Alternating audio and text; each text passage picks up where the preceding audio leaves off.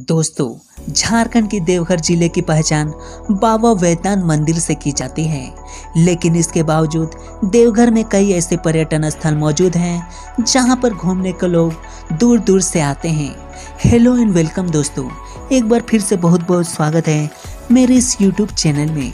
दोस्तों, वीडियो में आप नए हैं तो चैनल को सब्सक्राइब कर दें और बेल आइकन को प्रेस करना बिल्कुल भी ना भूलें, जिससे हमारे वीडियो का नोटिफिकेशन आपको सबसे पहले मिले। तो चलिए दोस्तों, वीडियो को स्टार्ट करते हैं।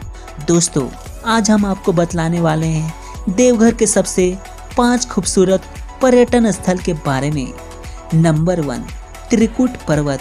त्रिकुट पर्वत देवघर में सबसे रोमांच पर्यटन स्थल में से एक है, जहाँ पर आप ट्रेकिंग, रोपवे वन्य जीवन एडवेंचर और एक सुरक्षित पर्यावरण वापसी का आनंद ले सकते हैं। यह एक लोकप्रिय पिकनिक स्थान भी है। यह तीर्थ यात्रा के लिए सबसे ज़्यादा प्रसिद्ध है। चढ़ाई में घने जंगल में प्रसिद्ध त्रिकोटांचल महादेव और ऋषि दयानंद की आश्रम भी है। नंबर टू, नंदन पहाड़। देवघर के पश्चिमी में किनारे स्थित सुंदर नंदन हिल्स एक पर्यटन स्थल है। पहाड़ी पर एक शिव मंदिर और एक नंदी मंदिर भी है। नंदी भगवान शिव के वाहन की एक बड़ी प्रतिमा भी स्थित है। बच्चों के लिए एक पार्क भी है। यहाँ पर एक बोट घर तथा एक दर्पण घर और बच्चों के लिए बहुत सारे झूले लगे हुए हैं। नंदन पहाड़ पर नौका विहार की भी सुविधा उपलब्ध है।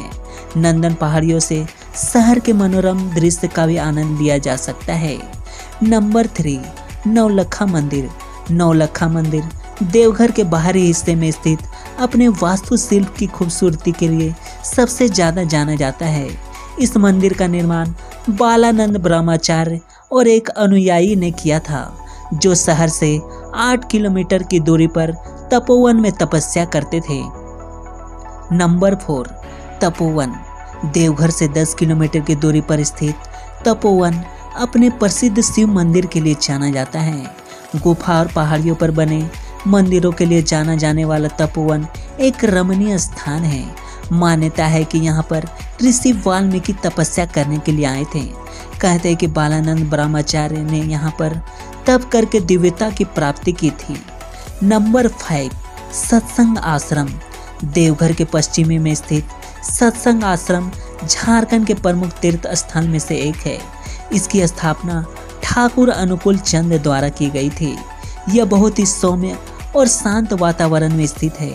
सर्वधर्म मंदिर के अलावा यहाँ पर एक संग्रहालय भी है और चिड़ियाघर भी मौजूद है। तो दोस्तों, देवघर के पाँच खूबसूरत पर्यटन स्थल में आपको सबसे अच्छा पर्यटन स्थल कौन सा लगा? हमें कमेंट्स करके ज़रूर बताएँ।